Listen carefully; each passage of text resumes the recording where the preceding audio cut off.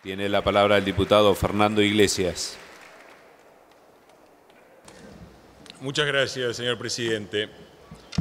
Hoy es un día raro.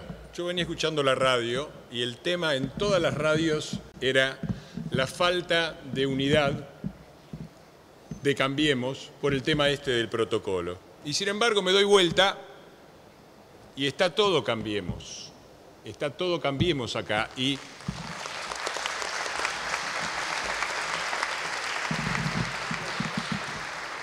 Y no quiero ser injusto con la oposición. eh, eh, veo varios diputados cuya presencia en esto eh, es, es muy importante y no sé si me toca agradecer, pero me parece que es importante reconocerlo. Pero veo muy claramente un mapa de esta Cámara. Veo de este lado una presencia compacta y de aquel lado, el de la oposición, una ausencia compacta. Y entonces me pregunto, quería hablar de esto, de la unidad, de qué nos une y de qué nos, de- nos desune. Porque me parece también que hay un sesgo permanente y una vara diferente con que se miden las cosas en este país por parte del periodismo y no solo del periodismo. Donde parece que una disidencia sobre un protocolo es un símbolo absoluto de falta de unidad. Pero que miembros del gobierno que va a entrar le hayan dicho al otro, no te tengo miedo, te voy a meter preso, o vos sos responsable del pacto de impunidad con Irán, eso no es, eso ahí no hay ningún problema de unidad. Ahí está todo perdonado, ahí va la vara de África, con nosotros siempre la vara de Noruega. Y aceptamos el reto, por eso estamos todos acá, unidos. Porque esto es lo que nos une. De un lado, una historia de lucha contra la corrupción y del otro lado, un pacto de impunidad, un pacto de ausencia.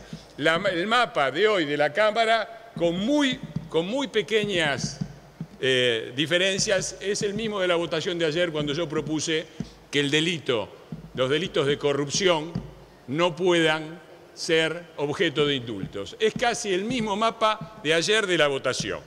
Y me permito señalar, porque lo mencionaron por ahí, que los tratados internacionales señalan que los delitos de corrupción tienen la misma jerarquía que los atentados contra el sistema democrático, porque son atentados al sistema democrático. Y nuestra Constitución no reconoce en su artículo 99 a los delitos contra el sistema democrático como pasibles de indulto. Lo menciono así al pasar porque no quiero abrir una polémica sobre este tema. Es un momento de unidad, es un momento para decir claramente quiénes estamos de un lado y quiénes estamos del otro.